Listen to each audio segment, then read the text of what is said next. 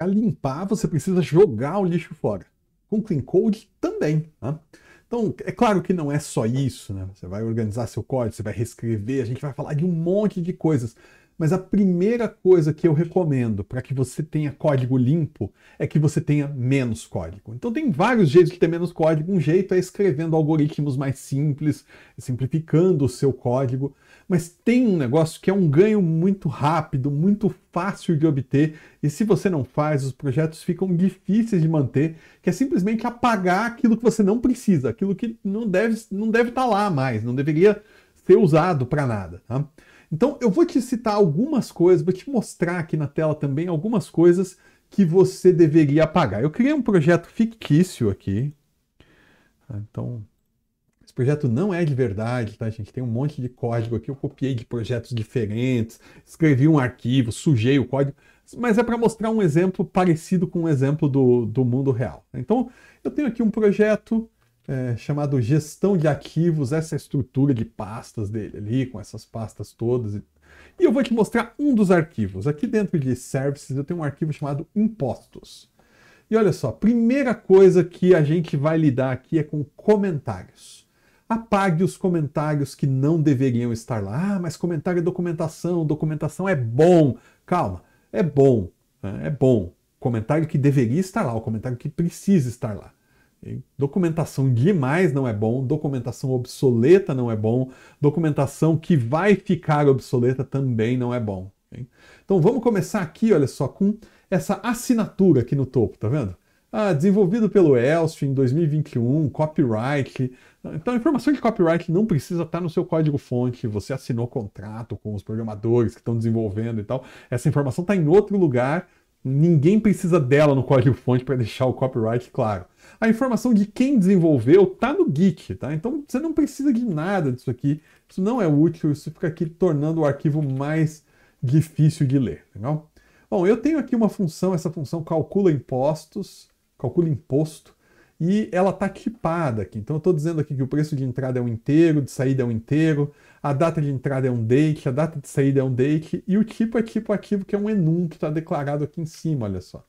Aqui ele. Então, em seguida eu tenho comentários e nos comentários eu tenho aqui parâmetros, tá? Eu fiz em Python esse aqui, mas é muito comum que você tenha comentários assim quando você trabalha, por exemplo, com JavaDoc, PHPDoc. E os parâmetros estão o quê? Descrevendo a mesma coisa que está descrita aqui em cima na tipagem. Ah, então essa informação aqui não é relevante. Além de não ser relevante, ela é um problema de manutenção, porque imagina que depois alguém resolva refatorar isso aqui e trabalhar com decimal aqui ao invés de inteiro. Ele vai ter que lembrar de atualizar o comentário. Aí você pode ter comentário ali, né? Que está desatualizado. Então, então, comentário, esse comentário aqui só está deixando mais difícil ler o código. A informação já estava toda aqui em cima, está só se repetindo. Remove esse comentário, legal? Comentário irrelevante, comentário que, que não devia estar tá lá. Tá? Outro comentário que não devia estar tá aqui, olha só. Se o tipo é igual a tipo ativo pontuação, em seguida tem um texto. Se o tipo é ação, mas se você leu essa linha aqui, a linha 18, e não entendeu o que isso faz, é, esse comentário aqui não é o que você precisa. Você precisa de um curso de programação. A coisa mais óbvia que você pode ter é essa linha 18. Então esse comentário está aqui à toa. Tira esse comentário daí. Tá? Aí aqui embaixo eu tenho mais dois comentários, olha só. Se passou menos de um mês, a alíquota é de 13%. Esse comentário aqui, não só ele não deveria estar aqui, como ele está obsoleto. Por quê? Porque, sei lá, mudou a regra depois aí. Essa portaria 3466 de 2019 deve ter saído uma outra depois. De novo, isso aqui é fictício, não vai usar isso aqui para calcular seus impostos. Então a regra nova aqui ó, é menos de um ano. Se é menos de um ano, a alíquota é 15. E não tem nada de menos de um mês a alíquota ser, ser 13. E essa portaria aqui provavelmente não faz o menor sentido mais também. Então tá obsoleto. Comentário obsoleto, remove. Ele nunca deveria estar aí, na verdade. Um comentário que descreve o que o código está fazendo é, que o código faz algo óbvio, sabe? O comentário não está acrescentando em nada, ele só vai servir para dar problema de manutenção. Olha esse outro aqui. 20% para opções. Cara, se você leu esse código e isso não está óbvio para você, não é esse comentário que vai te ajudar. Kira, Kira esse comentário daí, tá? não está servindo para nada. Então, olha só, eu vou voltar tudo que a gente fez aqui para você ver a diferença. Dá uma olhada nesse código aqui, olha só. Calcula impostos, tem dois ifs aninhados. A gente vai falar disso em outros vídeos dessa série aqui. Mas ok, tem dois ifs aninhados, três alíquotas aqui dentro, uma função bastante simples, né? A versão original era assim. Não está melhor tem mais documentação. Mais documentação não é sempre bom. Tá? Não está melhor de ler, está mais difícil de ler, está mais complicado de entender, além de ter comentário errado aqui. Tá? Então, essa versão aqui é muito melhor. Tá? Então, remove esses comentários, remove o que não deveria estar lá. Legal? Segundo jeito de você remover código que não devia estar tá lá, né? além de remover comentários, comentários obsoletos, é, comentários redundantes, comentários com informações que você tem no Git ou em algum outro lugar. Além disso, você pode remover código morto. O que é código morto? Código que está lá, mas que ninguém chama, que não sabe. Então, às vezes você tem situações, por exemplo, você pode ter um if aqui, não é o caso desse, mas você pode ter um if que, por conta da lógica, quando você para para entender a lógica, você percebe, ah, nunca vai entrar nesse if. Não deixa esse código lá. Se nunca vai entrar no if, remove o if. Você pode ter uma função, por exemplo, eu tenho essa função aqui embaixo, ó, valida transação. Né? Eu vou dar um grep aqui na pasta do projeto. E você vai ver que, olha só, a função valida transação, ela foi declarada nas services impostos e ela não foi chamada em lugar nenhum, nem por um teste, tem nem teste para ela. Gente. Então, a não ser que eu, eu que acabei de escrever, eu estou trabalhando nela agora, e aí pode ser que ela seja útil para mim por isso e tal. Mas exceto nesse cenário, essa função não devia estar tá aqui. Ah, mas alguém gastou tempo escrevendo e tal. Cara, não mantém esse negócio lá. Alguém gastou tempo escrevendo uma função que não serve para nada, porque não está nem sendo usada. Você manter ela lá vai tornar mais difícil a vida do próximo programador que vai pegar para ler esse código. Ele vai, ah, essa função, o que, que ela faz? Está sendo chamada aonde? Que impactos tem? Remove. Isso aqui não é para estar tá aqui. Entende? Olha como ficou simples o nosso arquivo agora, legal? Só removendo o lixo. Claro, não vai ficar sempre simples só removendo o lixo mas remove o lixo, remove. Vou pegar um arquivo mais complexo agora. Deixa eu salvar esse aqui. Vou pegar aqui, olha só, esse arquivo app que nesse projeto aqui foi tudo declarado aqui mesmo. Olha só, esse arquivo está grande, está complexo e tal. Legal? E aí, vamos lá, olha só. Primeira coisa aqui, tá vendo esse Wzinho amarelo? O meu editor tá avisando aqui que status foi importado, mas nunca foi usado. Se foi importado e nunca foi usado, e você não está mexendo nesse código agora, então foi importado à toa. Né? É certo que você acabou de importar e vai usar, mas se não é esse o cenário, foi importado à toa. O que, que faz? Remove, remove. Isso não é para estar tá aqui. Legal? Vamos rolar um pouquinho mais para baixo? Olha só. Aqui tem vários blocos assim. Okay? Se der a exceção tal, trata a exceção com esse dessa maneira. Se não, se der qualquer outra exceção, SXC. Alguém copiou esse código de algum lugar, ou sei lá, foi o Copilot que colocou e tal. Mas aqui a gente, você tem uma variável, XC sendo declarada, a exceção está sendo armazenada nessa variável, e o editor de código está avisando aqui, olha só, essa variável nunca foi usada. Legal? Então, vamos remover. Tira isso aqui daqui. Um outro exemplo de código que você pode remover é espaço em branco, espaço em branco à toa. Tá? O meu editor aqui pinta de vermelho, inclusive, olha só. Remove espaço em branco à toa, não precisa estar tá ali, legal? Aqui tem mais espaço em branco à toa, vamos remover. Tem editor que faz isso. Perdão, tem editor que faz isso aqui com um, uma combinação de tecla de atalho, já faz para todos. Tá? Então você não precisa fazer a mão assim. Pode mandar uma expressão regular aí também, mas deixa eu encontrar um outro bloco aqui. Olha esse bloco.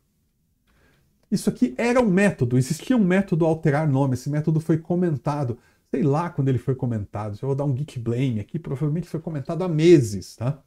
E ele está aí ainda, está aí fazendo o quê? Tornando o arquivo maior, sujando o código. Não é para estar aí. Não deixe código comentado. Às vezes é só uma linha de código, o pessoal vai lá e bota um comentário nela. Isso não é para estar aqui. Tá? Tem geek para isso, gente. Não tira esse código daqui tira esse código. Alguém vai gastar tempo lendo esse código, entendendo o que, que esse código fazia, o código que não serve mais para nada, mas alguém vai olhar o comentário e vai ficar curioso, vai ficar procurando o que, que esse código fazia. Código comentado é código morto. Remove ele. Legal? Então, remove o código morto dos seus, dos seus projetos, remova os arquivos mortos dos seus projetos. Quer ver? Por exemplo, aqui em Services eu tenho vários arquivos. E aí eu tenho um arquivo aqui chamado planos. Tá? Eu escolhi esse porque eu já pesquisei antes, já olhei e tal. Tem ferramenta para fazer isso, inclusive. Se você tiver uma ferramenta de cobertura de código, ela vai te responder essas coisas. O arquivo planos, onde ele é usado? Então vamos lá. grep menos R pork planos. Tá lá, ó. From services import planos é service planos. Tem esse outro aqui, ó, contas, né? Vamos ver. grep-r import contas. Então eu tenho de database de outro lugar, eu estou importando contas. Aqui eu estou olhando contas dentro de service. Eu tenho de database importa contas, de database importa contas, de database importa contas. Eu não estou importando contas de services em lugar nenhum. E claro, você não precisa fazer isso só com grep assim. Tá? Você pode ter um IDE que faz isso para você. Você pode fazer isso com uma ferramenta de cobertura de código. Mas o que, que eu vou fazer aqui? Eu vou remover o arquivo inteiro. Ah, sem dó, sem dó, sem dó. O arquivo está lá. E não é importado em lugar nenhum. Ninguém chama esse arquivo. Remove o arquivo. Não deixa esse lixo lá. Sabe? Tem projeto aí que tem uma biblioteca JavaScript que foi usada no início do projeto. Deixa eu voltar a câmera para cá. Tem projeto aí que tem uma biblioteca JavaScript que foi usada lá no início do projeto e que ninguém usa mais faz anos. Mas a biblioteca está lá, dentro da pasta de bibliotecas do projeto. Remover o lixo vai tornar todo o trabalho de manutenção e refatoração mais fácil. Sabe, ah, eu queria refatorar o código em todo lugar que eu fazia isso, agora eu quero fazer aquilo, né? Quero implementar um recurso novo da linguagem, quero mudar o jeito de fazer determinada coisa. Você vai fazer isso e você vai fazer isso em código que não está sendo usado para nada, então apaga esse código antes. Ou você vai ter que ficar separando na hora de fazer refatoração, remove o lixo dos seus projetos. Tá?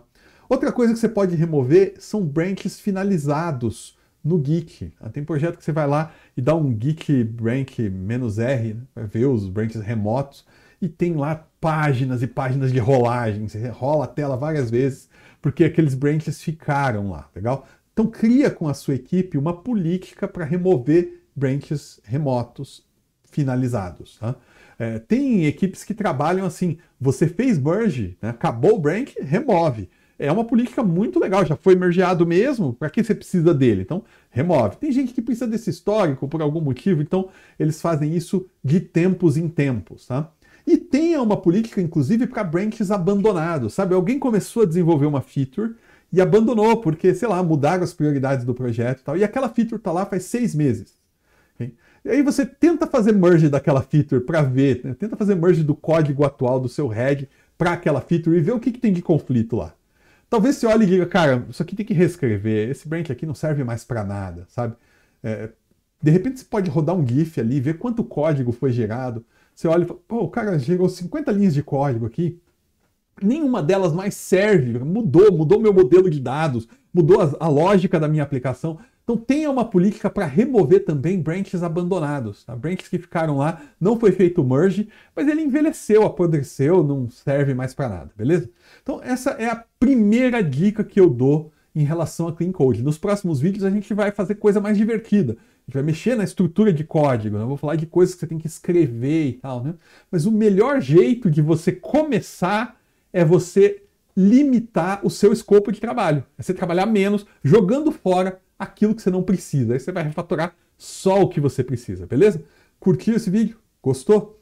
Se você está programando, você é programador e quer aprender Python, o melhor jeito que tem de aprender Python é o pythonparaprogramadores.com.br. Se você não sabe programar, tem um monte de curso bom aí para você, mas se você já é programador, esses cursos vão te ensinar o básico de programação, coisa que você já sabe, que você não precisava. PythonProgramadores.com.br é um curso direto ao ponto feito para programador, vai te ensinar o que você precisa para conseguir trabalhar com Python, começar a produzir código de verdade para o mundo real. PythonProgramadores.com.br. Valeu!